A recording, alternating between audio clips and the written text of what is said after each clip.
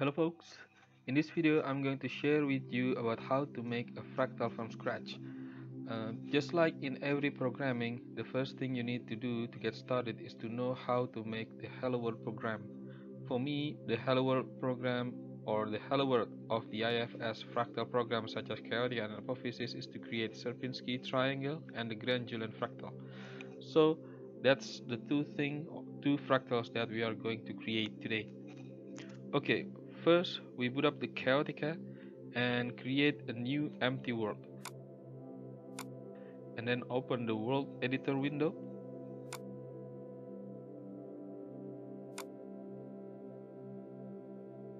And first, we need to add a new iterator. So we click on this button, add new iterator. And then to add a transform, we expand the tree and click on transform and then we click new transform. For the Sierpinski triangle we are only need to use three linear iterator. For the first iterator we need to scale down both feet of the iterator to 0.5 so click the pre-affine of the first iterator and change the x-axis and the y-axis length to 0.5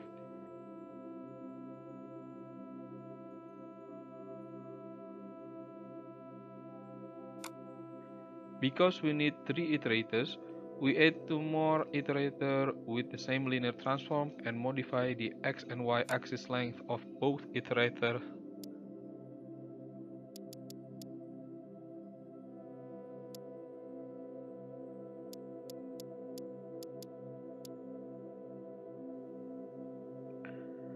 Okay, so now we have three iterators. We need to arrange them to create the Sierpinski triangle. So, how do you think we should arrange them? Of course, a shape of triangle. For the first iterator, we move the half left and half up. Uh, the second iterator half left, half down. And the last iterator half right, half down. There are three ways that you can use to move around your iterator. The first one is by moving it using the coordinate box on the pre-affine here.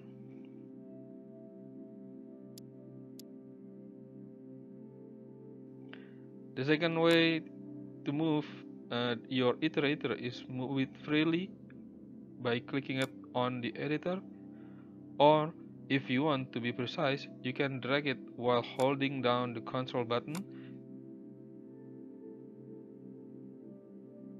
You can also click this snap to grid to make it snap to grid without have to press down the control button. When we look at the main window, we can see that we have a Sierpinski triangle.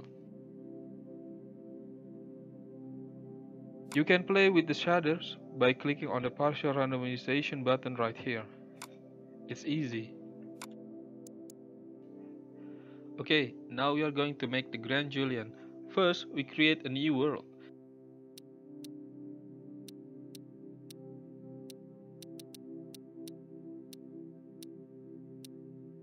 And then we add a new iterator.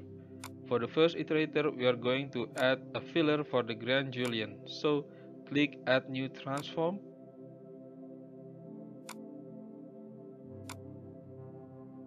In this first transform, we choose bubble 1.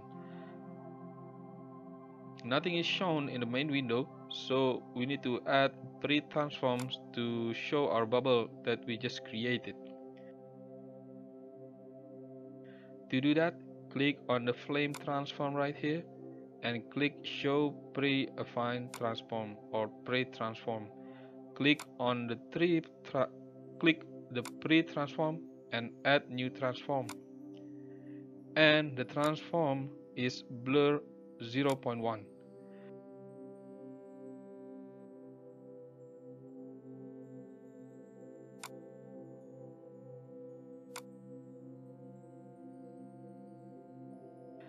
not really that interesting right?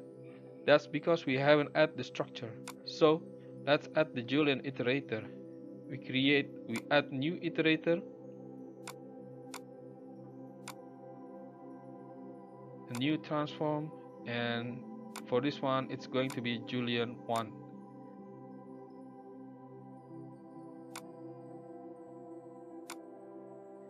and set the power to minus 2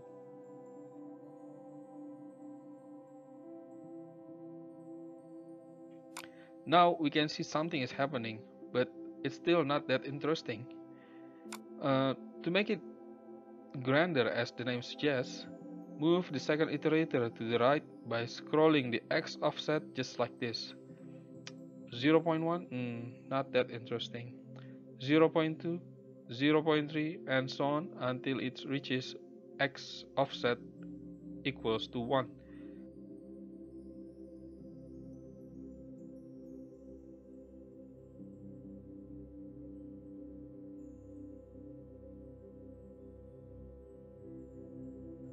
Now we can see that we have the grand Julian fractal.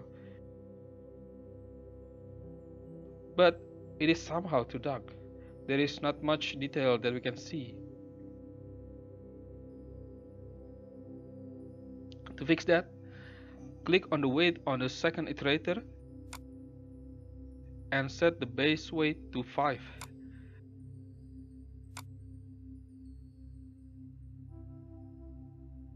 Now you can see uh, the effect, it increases the details in this area.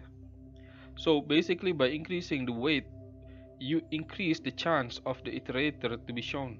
It is like you increasing its probability uh, to hit that transform. So the next thing you can do is to change the palette.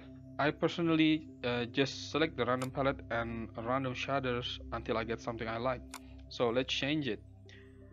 Uh, the trick is first you change uh, the number of a node into higher number something like 20 and change the shader first until you get something that you like. For example uh, you can have more color on it and then from from there you can change your palette to your liking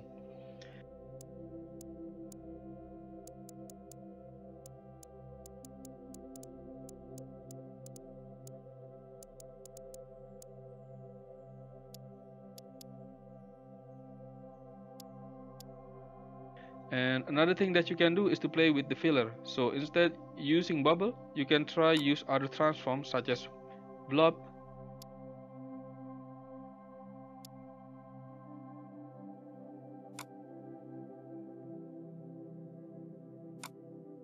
Butterfly.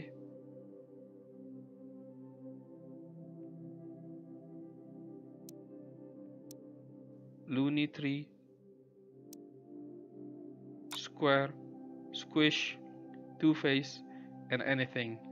You just have to uh, experiment with this stuff and have fun. That's it for this video and hope you learned something more about Chaotica and fractal making in general. See you again later.